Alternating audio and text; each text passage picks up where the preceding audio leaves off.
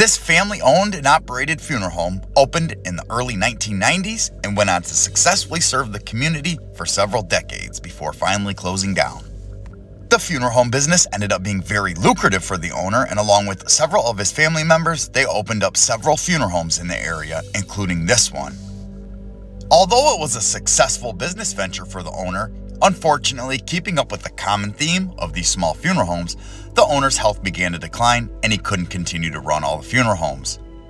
This funeral home eventually closed in 2018, and shortly after, the owner ended up passing away, and the property has sat abandoned ever since.